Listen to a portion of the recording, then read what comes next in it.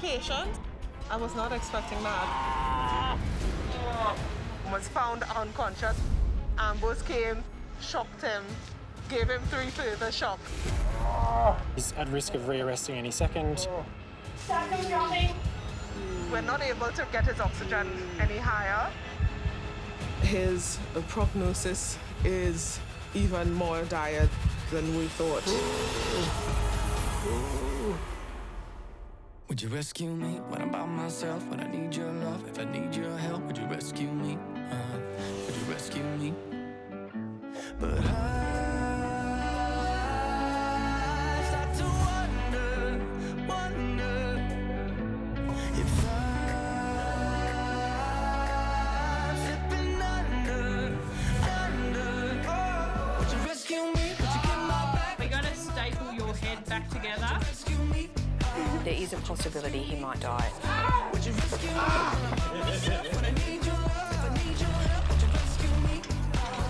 you rescue me? Yeah.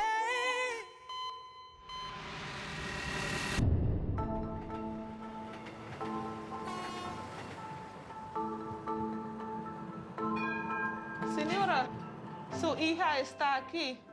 Tengo que estar aquí. Luisa, Ah, Luisa. Mairota. At the Royal Melbourne Hospital, emergency doctor Michelle Thornhill is displaying one of her many talents. Está bien. Está bien. Me cuidan muy bien. Well, I grew up in a country just off the coast of South America. So there were a lot of Spanish speaking people around. And I really enjoyed studying Spanish at school. ¿Dónde está el dolor ahora? Dentro de lo- Ay, no puedo moverme. Haitians feel more at ease when somebody could just say a, a simple hola, ¿cómo estás? Okay, we're close the catching up. You definitely need to know a bit about everything in emergency because any and everything can come through the door. How are you going? Uh, yeah, pretty good. Yeah. Under control? All under control. All right. Uh, well, it is Friday, so it, and it's midday, so it's about to go out of control. Just, just putting it out there. Okay, I'm ready for it. Yeah. You don't ever really truly relax, and you're always ready for the next big thing to whirl through the door.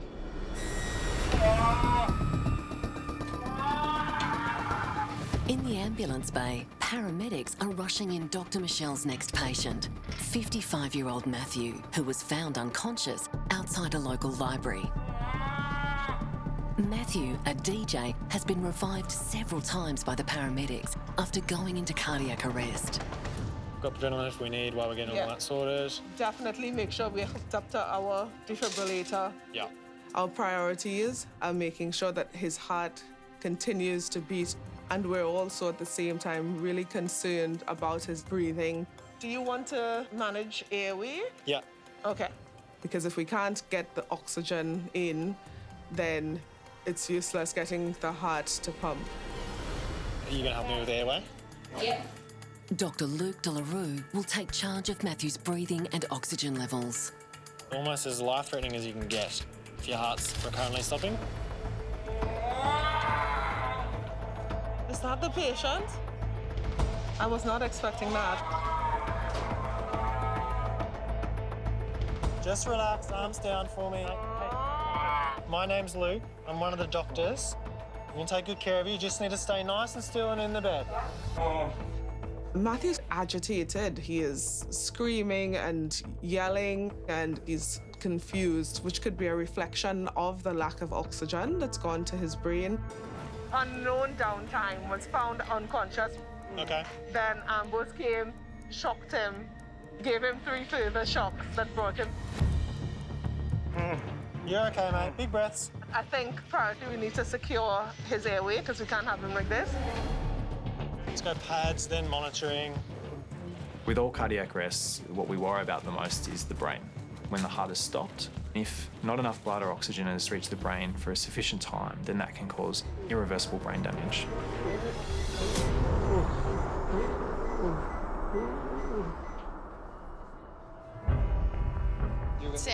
Sarah, scribe an airway.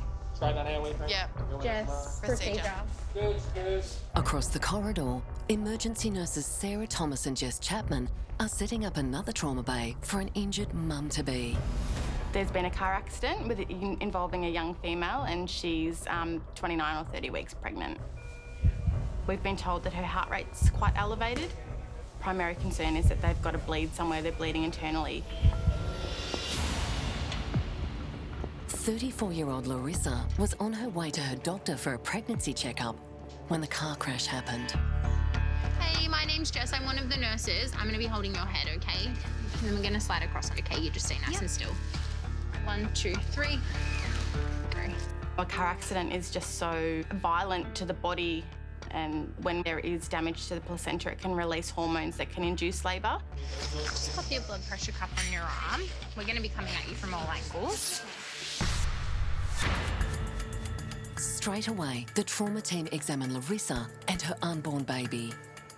We can do things concurrently. So with the ultrasound, we can check the heart rate of the baby and make sure that the heart rate is at an acceptable level and that there's no signs of fetal distress. Born is trauma call because she's tachycardic at 120 with a sinus tachy. Larissa's heart is beating faster than normal, which could be a sign of shock or internal bleeding. Hello. I'm Sarah, one of the other nurses. Having a bit of a shitty day, huh? Yeah. it's always really good if we can kind of find some common ground that we can use to build a rapport.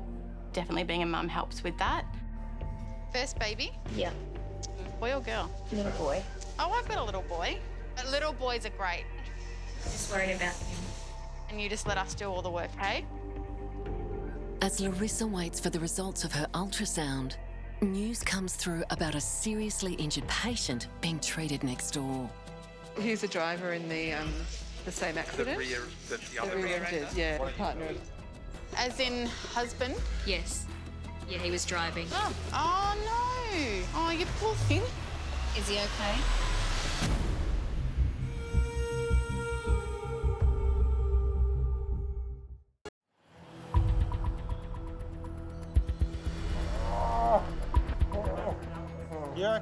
Just relax, arms down. In Royal Melbourne Emergency, doctors Michelle Thornhill and Luke Delarue are trying to save 55 year old Matthew, whose heart keeps stopping. Just relax, big breaths.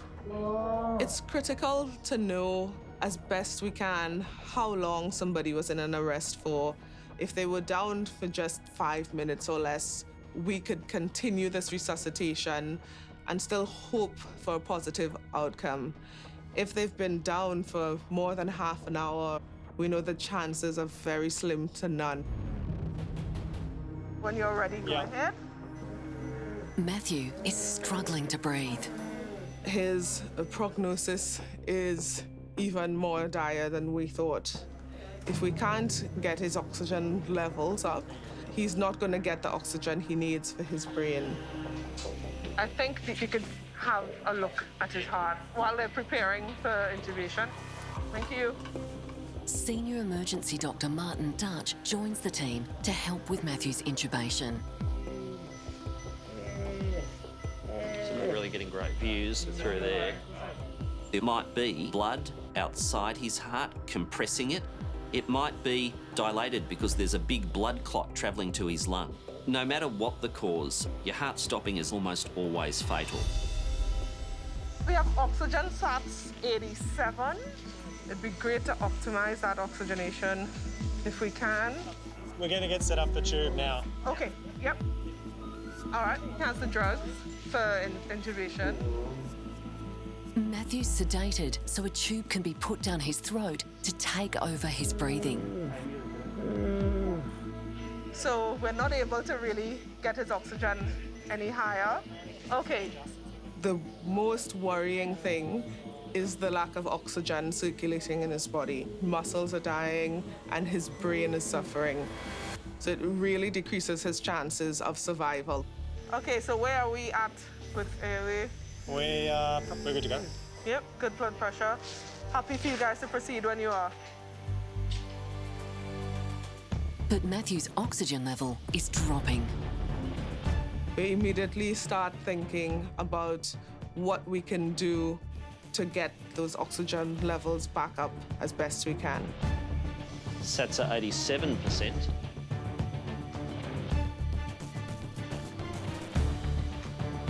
Sats at 86. Sats at 80%.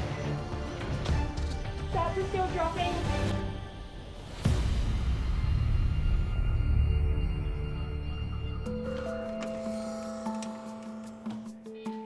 Got this time? Allergic reaction.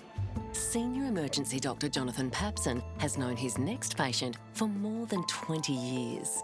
In general, doctors and nurses make pretty good patients because they know what's going on, they know what to expect.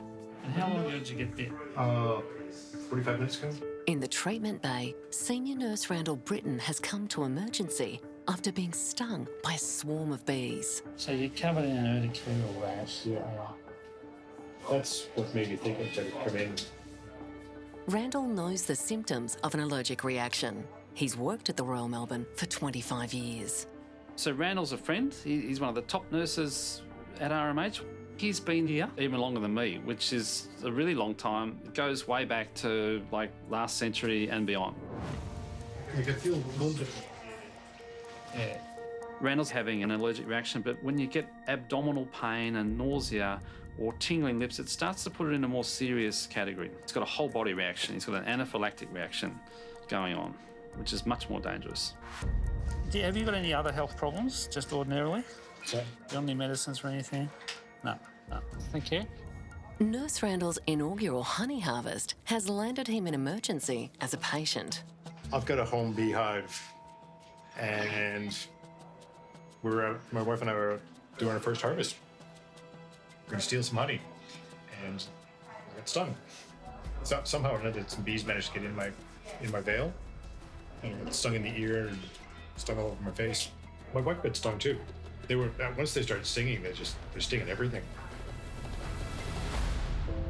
It isn't the first time Randall's been stung by his own bees, but it is the most severe. I got stung last week on Yeah, yeah. It's the same beehive. Yeah. Yeah. It, it may just be the load of bees. You know, sometimes you get many stings. Yeah. People die every year from uh, anaphylactic reactions to bee stings. Randall's been stung by multiple bees, so he's had a much higher dose. If the reaction continues to get worse, your lips swell up, your tongue swells up, you can't breathe. Um, and uh, that can be fatal, so it can go either way. So you've got the cutaneous manifestation. You're tingly around your lips. Yeah. I am adrenaline That I'll sort about. Let's do that. I'll give you some adrenaline. An injection of adrenaline can have some serious side effects. Well, I had, yeah, I had adrenaline once about 30 years ago. I didn't like it then, so I'm not looking forward to it now.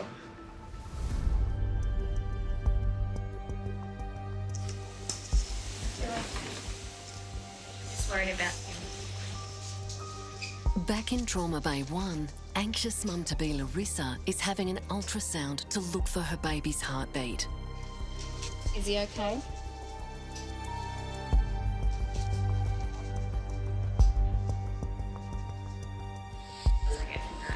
Fracture itself is fine. There's a wonderful heartbeat there. Thank you. 34 year old Larissa was in a car crash which may have injured her unborn baby or brought on early labour. It's showing us that the baby's heart rate is, is within the normal ranges, which is very reassuring for Larissa. It's just, it brings a sense of relief, not only to the mum, but also to us in the room.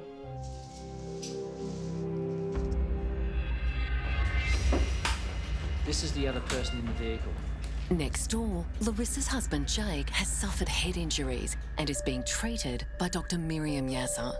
Is a partner with a depressed skull fracture, so we'll see what it is. Jake was driving and hit his head on the steering wheel when the car crash happened. Head injuries are often very common, especially if there's no airbags or, you know, if their head hits the window or the steering wheel. Open your eyes for me. Look to the left. Is that sore?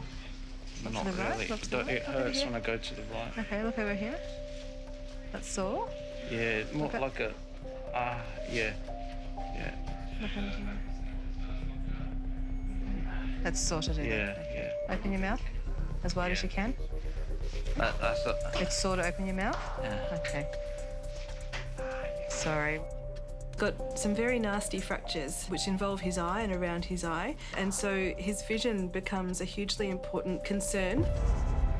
The first time parents were on their way for a pregnancy checkup when the crash happened. Given the mechanism of your accident and the injuries that we can see, we're going to be doing a scan of most of you, so your head, your neck, the facial bones. Yeah. Is my wife and our baby okay? Just fearing the worst. Apart from him having his own injuries to deal with, the one thing that I really am aware of is, you know, the shock of being in a high speed accident, the shock of having your own injuries and then not knowing what's going on to a loved one or your baby is, you know, it's, it's terrifying.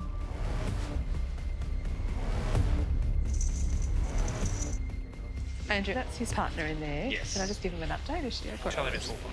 She's all right, and her baby's fine. Yeah. Thank you. Hey, Jake. I've just had a chat to your to the doctor who's looking after your partner next door. Yeah. Baby's fine, and your partner's okay. You okay? Oh, it's just a relief. Okay, everything's fine. Just take a minute to process all of it, okay? You're all right. You're okay. The relief was there for me as well. I think to be able to, to break some good news. I mean, it is not always the case that we have good news to break in an emergency department, and it is just lovely. It is just the nicest thing to be able to tell him that things are okay. But Jake faces some serious issues with his injured eye. Your job is just to stay pain free and lying flat on your back um, until the results of your scans come through. Yeah. I'm worried. Like, has he caused so much damage to the eye that it's going to be irreversible? I mean, with eyes, you just don't want to mess around with them.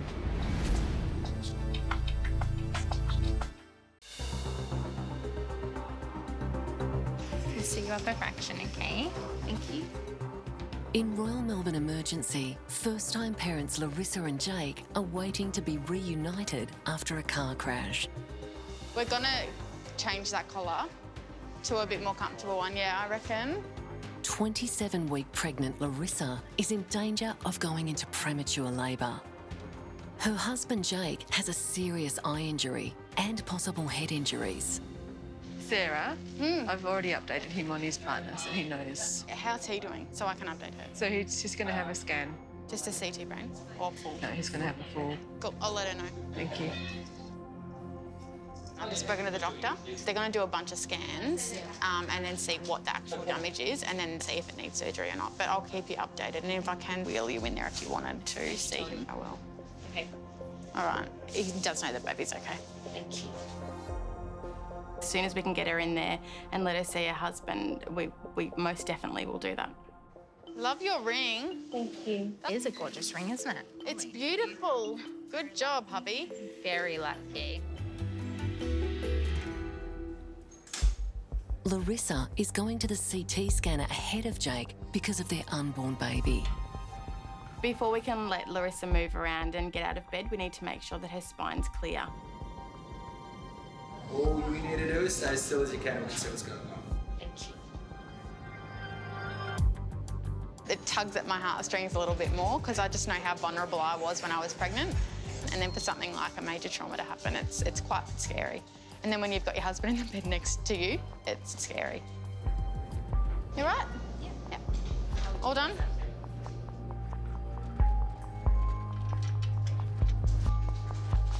Is that a bit better? Yeah. Yeah. The CT results have come in for Larissa. Her scan results came back and everything looks really good.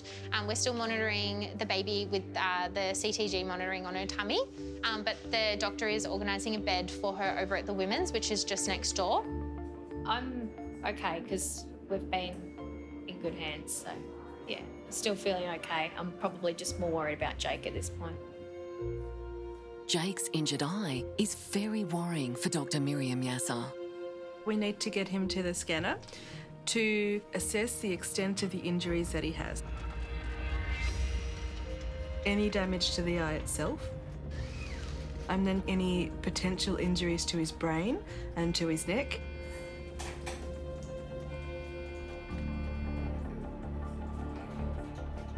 Dr. Miriam has an update for Jake, who's resting to protect his eyes. The result of that scan came back, and it does look like you've got some fractures around that left, uh, the, the bone that surrounds the eye. And one of them is pressing on one of the muscles that moves the eye, which is why you're getting that pain. So we've got specialists that have a look at fractures of the face So uh, we will have a chat to them and see what they recommend, okay?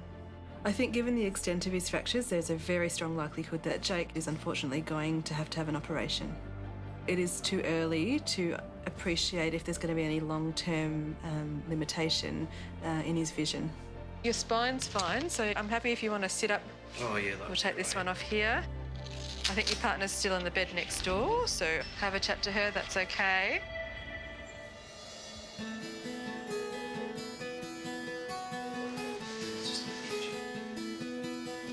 Hey, Meg. Um, is it okay if she just. Oh, awesome.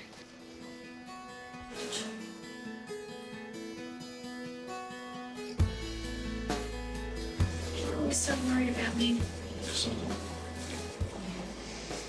They're going to take me to the women's to monitoring. Yeah. His heartbeat's fine. Yeah.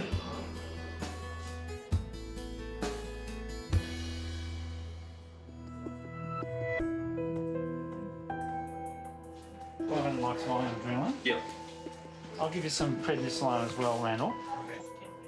Senior Dr. Jonathan Papson is prescribing a shot of adrenaline for workmate Randall, who's come in on his day off after being stung by his own honeybees. He's having an anaphylactic reaction, a serious reaction to the multiple bee stings. He fits the criteria for adrenaline. He's getting it to turn off the reaction. Otherwise, the reaction's going to get worse. Adrenaline will, you know, give you a bit of a rush, but it'll sort it out. You'll be, otherwise, you'll be like this all day. So Randall would be worried, and the adrenaline will make him jittery and his heart rate go fast, and there'll be side effects. But he's given adrenaline many, many times. So Randall has seen all the side effects from adrenaline that can happen. Randy, I got your pedals in. Here is okay? Yeah. Yeah. Half a milligram much range. Yeah, can't wait.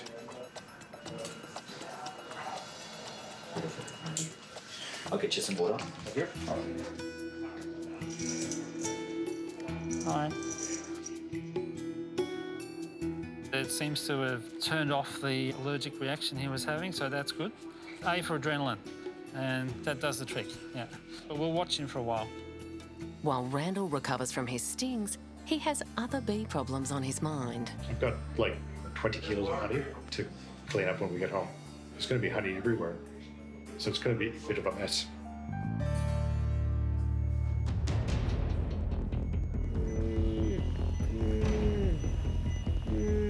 That's at 80%. In Trauma Bay 2, heart attack patient Matthew has dangerously low oxygen levels. Okay, so Martin, you're going to take over? Yeah. The emergency team needs to take over the 55 year old's breathing, but it's a very risky procedure. Can I have the stool to my end, Gina? Senior emergency doctor Martin Dutch has just seconds to put a breathing tube down Matthew's throat. Ideally, we'd have oxygen levels at 100%. We actually stop people breathing for a period of time while we're actually placing the tube. If you've got low oxygen levels and you stop breathing, they're only going to go lower. And there's only so low that the body can cope with before Matthew's heart may stop again. Kind of plateaued at 84. He's ventilating. It's just on the turn. All right, we have CO2. Sats are slowly recovering. Having said that, his blood pressure was in the 200s. It's now 129, so we need to keep an eye and see. Matthew's heart can arrest again at any time. And worst case scenario is we can't actually get it back. And he doesn't get the circulation he needs to give his brain oxygen, and he could die. Do you need your drugs topped up or you have enough? Yeah. Matthew, a disc jockey, had just left his local library when he collapsed from the first of many heart attacks. The laryngoscope, whenever you're ready. We use a device called a laryngoscope, which is essentially looks like a claw on a hammer and it has a light at the end of it. And we can lift the tongue and the jaw out of the way and put the tube in. Okay, tube over the top, please. Placing a breathing tube into a patient's lungs is a complex procedure that has a number of different stages, all of which can go life threateningly poorly. And now two seconds. Just push the tube down so I can grab it. Yep, grab the bougie. Yep. The hole that's really hard to put the breathing tube in, that's the hole that we need to aim for. It's around the corner and it's in a dark place. And hopefully, put the tube in that hole and do all of that while Matthew's holding his breath.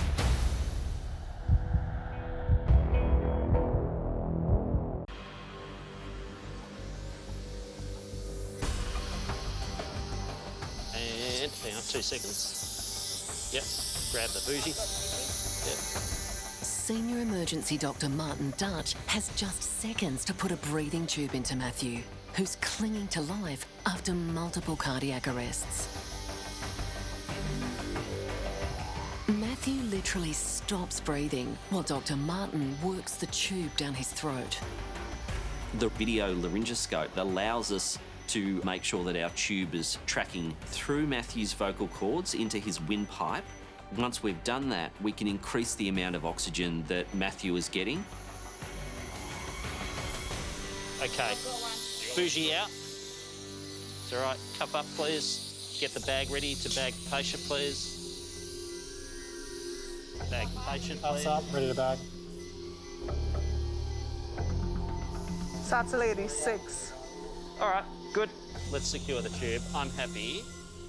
Now that we've placed the breathing tube, his oxygen levels have begun to increase. He's no longer distressed, and we can really begin to rest his heart and take the strain off that heart that's having its worst day of its life.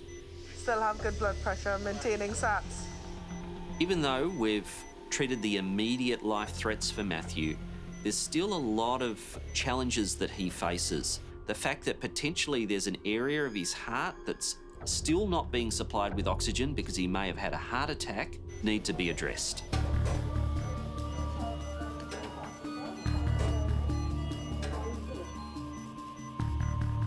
So, ET tube looks great. His lungs are inflated. Okay, I'm happy. Thank you. I think we've done what we can for him here. Airway secure. I think we just get him straight up. Okay. Dr. Michelle decides Matthew is stable enough to be sent to a special heart unit. The lab's ready. The lab's ready. Excellent. Can we page for uh, Gina, one of the EDs? Thanks. But the move can be very dangerous. Anything can happen in transport, and it's your worst nightmare because you're out of your familiar environment. He could rearrest at any point in time. So we basically all hold our breaths until we get him onto the table and walk away. We have a, a rest dose if we need to in a syringe.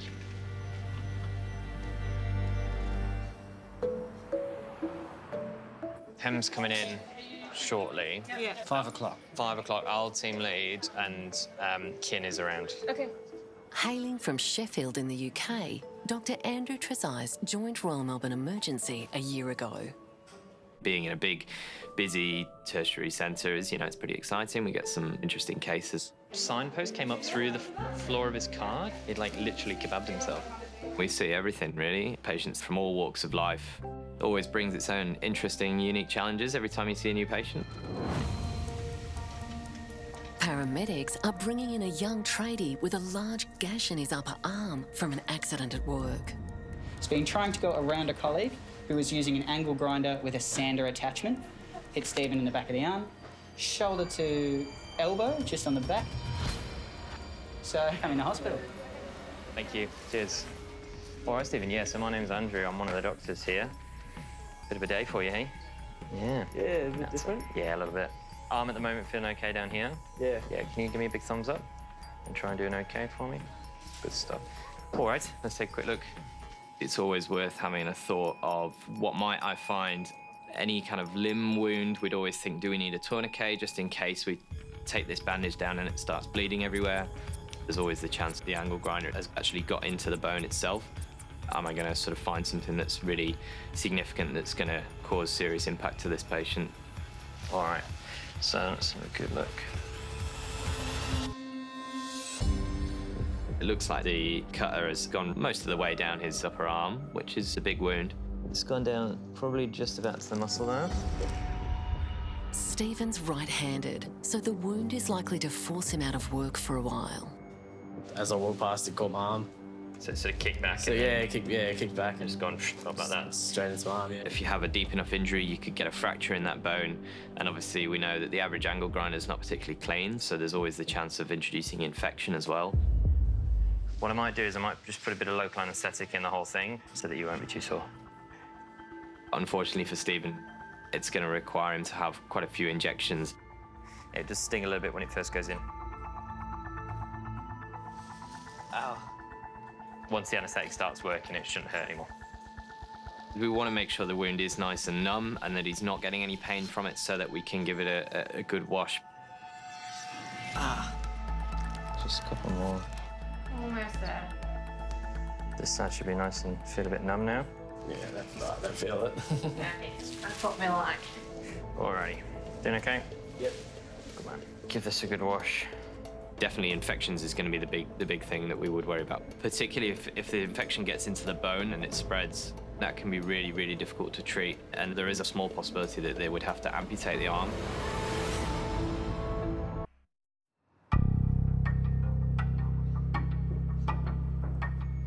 So I'll try and sort of shove this under your arm. Yeah, that's good. In Royal Melbourne Emergency, labourer Stephen is having a large gash in his arm numbed so it can be cleaned to stop infection. So try and sort of give it a bit of a scrub as I go, so tell me if it's very sore. Yep. What we would be particularly concerned about would be fragments of things left in there. So whether it's fragments of the of the, the angle grinder, the disc itself, whatever was being cut, whether it was wood or metal or plastic or something, you know, you can get those fragments into these kind of wounds. Um, yeah, give us five minutes and then mum can come in. We'll just cover it up first. Okay. Alright. Yeah, how's your mum with blood? He's not too bad with it, but he probably doesn't want to see it. Don't want to, you don't want to run the risk. Oh, it's different when it's your own son as well, I'm Yeah, sure. exactly, yeah. Stephen's mum, Caroline, has been waiting outside for news of her son's injury. I'll just take a picture to put on the medical notes as well. I was about to say, I'll take a photo for you too. Yeah, you need a picture as well if you want one. Got to show the mates down the pub, haven't you? Just do one we've got this one. There you go, it's gross. Yeah. It's a little bit gross, yeah. yeah. I've seen better though. Sorry. We're probably all a bit weird in the emergency department. I think we probably all quite like wounds like this. I, I, I, yeah, it's difficult to think why anybody would would like that, but I suppose it's probably just that little bit of a bit of sort of adrenaline rush you get from it. You know, it's not something that you get to see every day. Wonderful. All right, good man. So yeah, we'll get some antibiotics into you just to cover for any infection, and then get you home. Hi, Caroline, coming in. Stephen's mum is finally able to see him. I've just been giving it a good clean out and washing up. We thought we'd bandage it before you came in. Okay. Thought you Yes. might you might not appreciate. Uh, it's, look, it's it, it looks very dramatic, but actually it's quite a superficial injury. I think you'll need to stay in um, at least tonight. I'd like the plastic surgeons to, to probably they'll need to do an operation to just stitch it up. Just because of the depth of the wound and the size of the wound, this is probably something that's going to need a, an operation to, to fix up. Good stuff. I'll let you sit with him for now, and I'll come back and let you know when we've got an update. Caroline arrived on the scene shortly after Stephen's accident. rushed round to his workplace um, to be told, yeah, he'd uh, been hit with an angle angle grinder, I think it was. But there was quite a few people there, so I just sort of stayed a little bit out of the way. 'Cause It's like if I start crying, he'll start crying, or if he starts crying, I'll start crying. So it's like I'll just think we'll just I'm just going to stay out the way. She's worried about her 21 year old son's future job prospects. Is that a, a permanently damaging injury? You know, like d- nerve damage or, you know, sort of that sort of thing. Especially with sort of trade work, you know, you need you need your arms. Luckily, I didn't hit yeah, the artery or anything. Yeah. Or the muscle. So just, lucky. just missed. yeah, thank his lucky stars that he's that he's all right, and I think his arm will will be will be fine. Just with left with a bit of a scar and a good story at the end of it.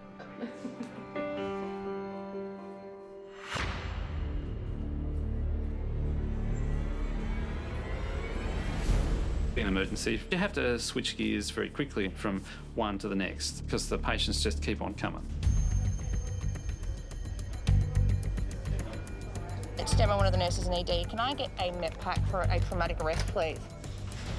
A big emergency team, headed by senior Dr. Jonathan Papson, is gathering quickly to treat a man with life threatening stab wounds. Stab have two neck that's arrested. Yeah, yeah. We're about to receive a, a man who's been stabbed. He is in traumatic arrest, and it usually means someone has bled so much that there's not enough blood in their system for the heart to pump now.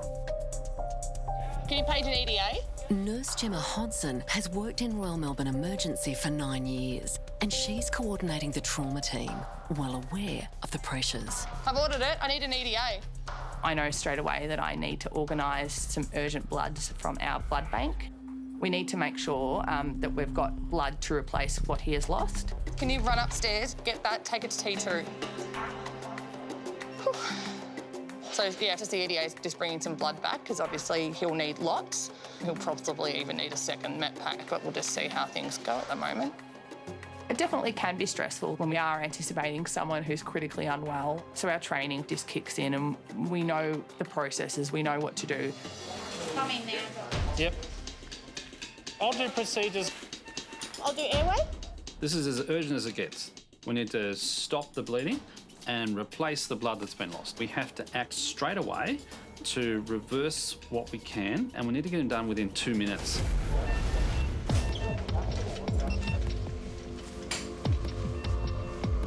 So we don't know the time the injury occurred, but it wouldn't have been long. On our arrival, he was in cardiac arrest with a penetrating neck injury, a significant amount of blood surrounding his body. So we've essentially loaded him, assessed and treated en route. So this is our puncture wound? Yeah. This gentleman has a penetrating neck injury. It's gone into all the deep structures, it's gone in deep, and it's hit something. It's not one centimetre. On the neck? On the neck. Left. There may be other injuries you haven't seen. Yeah. Neck's full of blood vessels. So the first thing we need to do is to stop any obvious bleeding, put pressure on it. It's only small. It's very, very deep. While the patient gets oxygen, Dr. Papson needs to make a small incision into his chest to release any built up pressure. Potentially, the cause of his arrest is air in the wrong place around the lungs, compressing the lungs, making the lungs unable to expand. That can kill you. So we need to reverse that by cutting the chest open to let the air out of the wrong spot. Left side's still compressed. We don't know anything about this gentleman. We don't know his name, age, date of birth, anything. Police attended, he was found unconscious. They commenced CPR in 20 minutes. Assessment revealed asystolic. That's the heart sink moment because when you're asystolic after a penetrating injury, it means your heart's actually stopped. He's got no pulse.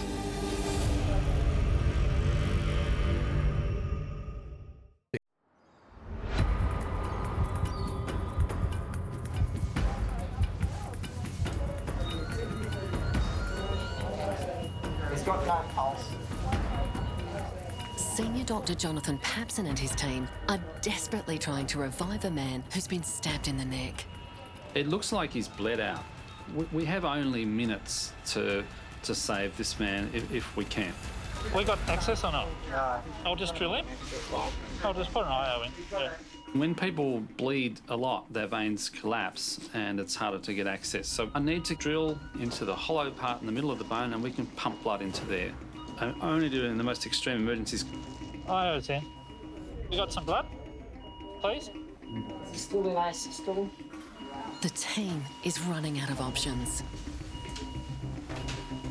We use our ultrasound to show us, as a last resort, is there anything else we can do? Is there a surgical option we can take? What are you seeing, Adam? Ain't no heart. The ultrasound has shown us that he's asystolic, his heart's not beating. We've got no breathing. We've got no pulses. We've got cardiac standstill. And uh, it's been how long? 20 minutes. So it's the worst outcome.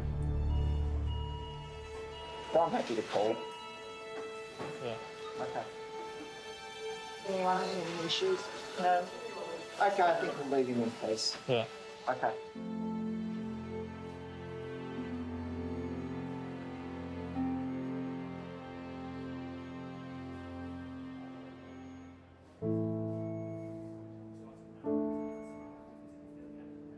It's an awful tragedy that this has happened. We tried everything. There's nothing further we can do that will help bring this guy back.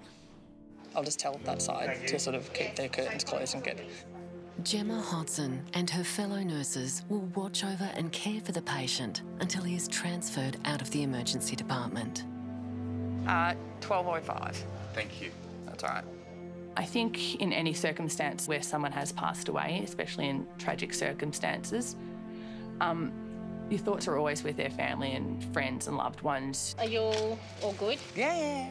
It never really gets any easier, but we sort of we get better at managing sort of how we feel about it. That's not to say that some days we sort of we might have a cry. We do see death on a say a regular basis. But we're never shamed if we show emotion.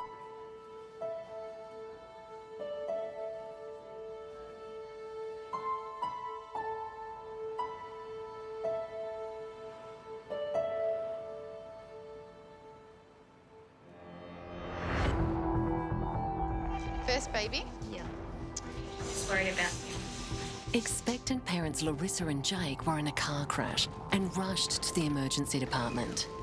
The result of that scan came back, and it does look like you've got some fractures around that bone that surrounds the eye. Jake had surgery to repair the damage to his eye. And after a night in hospital, Larissa and baby were sent home with a clean bill of health. All right, let's take a quick look.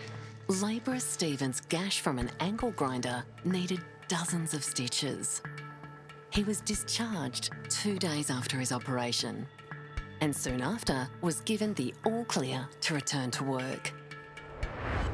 How long ago did you get bit? Uh, 45 minutes ago. Senior nurse Randall came to emergency on his day off with multiple stings from his honeybees. So you're covered in an urticarial rash. Yeah. Randall recovered and thanked his friend and colleague Dr. Jonathan with a special gift. I actually got a tub of honey from Randall uh, when he came back to work, uh, so that was good. The honey was good. Doing a good job there. Although we would advise against keeping bees um, if you've got an allergy to bees, but the honey was good. You're okay, mate. Just relax, arms down. DJ Matthew was found unconscious in the street, and his heart stopped multiple times on the way to emergency. Tim has the drugs for intubation. Doctors battled to keep him alive with a breathing tube so he could be sent for surgery.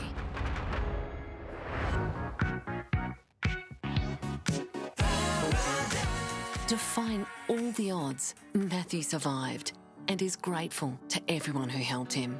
I am very lucky. I had these wonderful angels around me, like the nurses and the doctors. So many people were involved. So thankful for all the work that the Royal Melbourne staff put into there, keeping me alive, and I really appreciate it. For Dr. Michelle, Matthew's recovery is the greatest reward. It feels really satisfying to know that he came in on what was the brink of death and we were able to literally save his life. Surgeons put a stent in Matthew's heart, and with regular medication, he has a new lease on life. I feel alive, I'm happy.